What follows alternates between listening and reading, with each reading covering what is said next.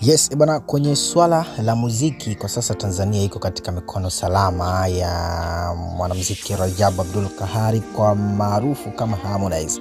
Amekuwa akiendelea kufanya poa sana, amekuwa akiendelea kuwakilisha vyema uh, taifa la Tanzania na vitu ambavyo huwa anafanya. Of course alikuwepo na show nchini Malawi.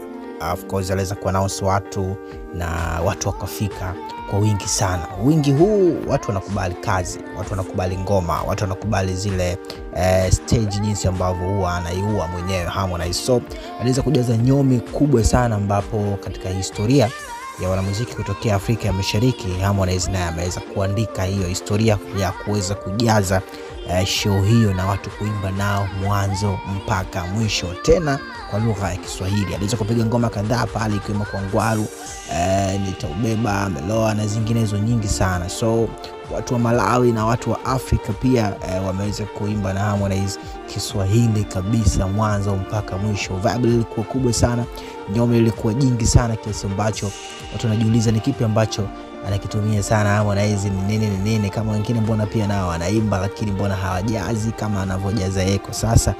Jibu naweza kusema kwamba sasa ni wakati wake, lakini pia amekuwa uh, iko vizuri pia katika upande wa mashairi na utunzi na kila kitu so Uh, ni moja kati ya kitu kikubwa cha kujivunia tukiwa kama wapenzi wa mziki, tukiwa kama Watanzania, tuendelea kumsapoti kijana wetu kwa kile ambacho anaweza kukifanya. So maoni yako ni muhimu zaidi, kama utakuwa utadondosha maoni yako hapo ukasema chochote kuhusiana na hiki eh, lakini pia kwa bado huja subscribe, wakati wako ni sasa. Bonyeza subscribe kisha bonyeza alama ya kengele ili usipitwe na habari na matukio yote kutokea ndani ya Bongo Trend TV. Asante sana, tukutane tena next time.